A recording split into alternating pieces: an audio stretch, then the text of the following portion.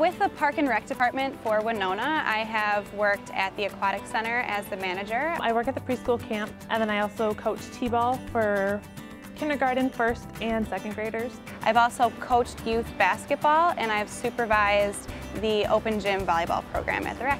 Winona State students work thousands of hours with us throughout the year and those hours are vital to what we do. It's something that's fun and I actually love going to work every day. They get experience working with populations that they may work with when they graduate. Working with the Park and Rec has taught me a lot about how to work with kids and how to work with a lot of different groups of people. And they meet people who will help them shape their lives ahead of them.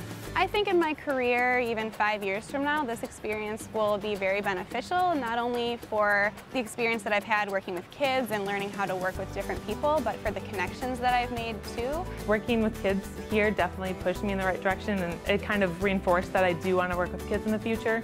They give us their time and their energy, their resources and their their ideas and, and those thousands of hours have a ripple effect that go on and on and on in this community.